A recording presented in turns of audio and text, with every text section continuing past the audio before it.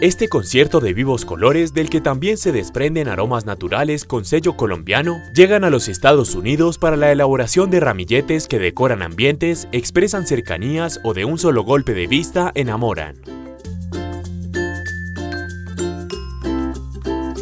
Son miles de manos campesinas en todo el país las que cultivan y celosamente cuidan estas colecciones de flores que desde hace muchos años hacen de Colombia un referente mundial de floricultura. No, la fama y la publicidad que tenemos de nuestras flores es muy buena. Somos el segundo país exportador de flores en el mundo después de Holanda. Eh, y gracias a esta diversidad de especies y de flores, colores, tamaños de flor, tamaños de hoja, hace que nuestras flores tengan un, un plus en Estados Unidos y en el extranjero. Para garantizar que estas flores colombianas conserven y amplíen sus mercados a más países, el ICA salvaguarda la sanidad de los cultivos ornamentales y por ello hace visitas de certificación, inspección y vigilancia de las condiciones en las que se producen. Asimismo, capacita a productores y asistentes técnicos para actualizarlos en nutrición y prevención entre otros aspectos, y les ofrece además recomendaciones pertinentes para el control y mantenimiento de las siembras.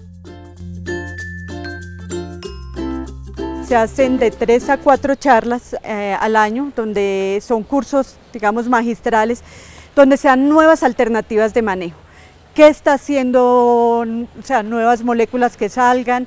Eh, ¿Qué está haciendo las empresas productoras frente a innovaciones? y este es el apoyo que se da. El apoyo ellos ha sido permanente a través de charlas, capacitaciones, visitas periódicas, donde pueden venir a constatar si estamos haciendo bien los pasos requeridos para el manejo fitosanitario o si necesitamos implementar algo más o es un trabajo en equipo muy interesante que tenemos con ellos. Cuidar estas flores para alcanzar ese esplendor que hace que las prefieran no es tarea fácil. Por eso, el ICA reglamenta y verifica que los productores apliquen las normas que establece y que son de obligatorio cumplimiento para protegerlas de plagas y enfermedades. Estamos ahorita en un cultivo de pompón. La resolución que aplica para este cultivo es la 4332 de 1995 y es sobre roya blanca. Entonces nosotros venimos y verificamos que se hagan todo el cuadro de monitoreo, se hagan los controles eh, que sean preventivos frente a la enfermedad y las condiciones de desarrollo del cultivo estén óptimas condiciones para que no se desarrolle el problema.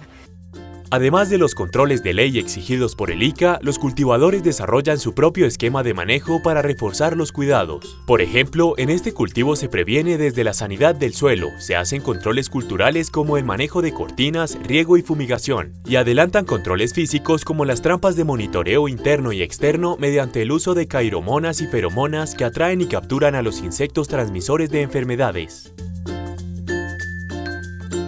Tenemos un manejo integrado de plagas eh, que incluye desde el manejo biológico, controles físicos, etológicos y terminamos con controles químicos periódicos, eh, de tal forma que garanticemos una calidad y una sanidad de nuestras flores en Estados Unidos, que es nuestro principal país de destino de nuestras flores. Parte del manejo integrado de plagas y enfermedades en este cultivo está en hacer un proceso de sacudido de flor, con el propósito de que no ingresen enfermedades a la fase post cosecha. Todos estos esfuerzos son los que garantizan flores sanas para que en el exterior sigan siendo las más pedidas del mercado.